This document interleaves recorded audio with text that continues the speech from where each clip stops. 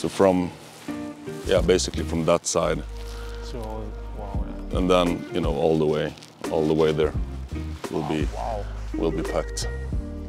Okej Frederik, välkommen till Hammarby. Mange tak. How do you feel now that you are officially a Hammarby player? Feel really good. Uh, it was some uh, hectic days uh, the last couple of days, so uh, it's really nice that everything worked out uh, and that I can finally sit here uh, and be a Hammarby player. What went through your mind uh, when you first heard that uh, Hammarby uh, was interested? I got really excited, to be honest. Uh, of course, as a Danish guy, Danish football player, you know the Swedish league, and of course, you know Hammarby as well. It's a big club in Sweden. Um, so I was really, really excited uh, when I first heard about uh, the interest from from Hammarby, um, and uh, yeah, I was really wanted also, and uh, was really uh, yeah pleased to hear about the interest. You had your breakthrough at uh, Lyngby as a teenager and uh, before securing a move to Augsburg in the Bundesliga.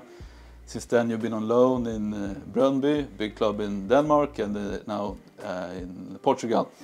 Uh, why did you feel like Hammarby was a good step for you, uh, your next step in, the, in your career? Yeah, it's no secret that I've been a bit around uh, the last was that one and a half years something. So I also felt like the interest from Hammarby and Hammarby as a club. I could feel also that it's like a more like a family club. Also, uh, it's maybe also a bit closer culture-wise uh, than Portugal was uh, for me. Uh, you can, uh, yeah, of course, when it's Scandinavian, it's a bit more what I'm also used to and what I came from uh, in Denmark. So I felt like the the opportunity to go to Hammarby and feel a bit more at home was also a very nice and important step for me as a as a person, but also as a football player, of course. You hadn't been in uh, Stockholm before, so what you look forward forward to uh, in uh, you know experiencing this new city? Yeah, I really look forward to exploring the city as well. I've only heard uh, good things about it uh, from many, many people, uh, but never been here and never got the chance to, to come here. Uh, so yeah, just uh, looking forward to to see the city. And I heard also that uh, when the sun comes a bit, uh, the city gets even nicer. Yeah, that's correct. But you came to the most important part of the city straight away, uh, Nya Söderstadion. Yeah. So that's perfect. I know that you've seen uh, clips of uh, Hammarby supporters on, on YouTube. Um, yeah, what do you feel about playing in front of uh, our supporters? I really look forward to it. Uh, it's a big part of football fans, uh, and uh, you should really appreciate also uh, having fans. And uh, having fans like uh, Hammarby has is it's not every club that has has it like that.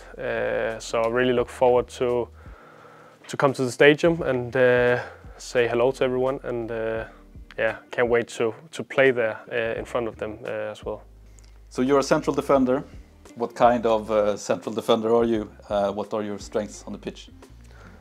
I would like to see myself as a centre back who likes to uh, to build the game up uh, from the back, to find solutions, both uh, short short uh, solutions but also longer solutions, uh, depending on the game, depending on the the opponent also, uh, and the yeah possibilities to uh, to play. Uh, You're quite Also- tall. I'm also quite tall. Uh, I also think I have some strength in the in the defensive uh, aerial duels in the air, um, and uh, then I also really enjoy defending. So uh, yeah, I like both parts of the game. The season is uh, coming up very soon. Uh, feels like you're ready to play on Sunday. How do you feel coming into the team so so late in the preseason? I feel fine about it. Uh, of course, it would also be nice to have had uh, lots of trainings with the guys, but yeah, that's not how it is right now. Uh, so, uh, and that's also football, uh, being ready uh, whenever the opportunity comes. That's also what you work for.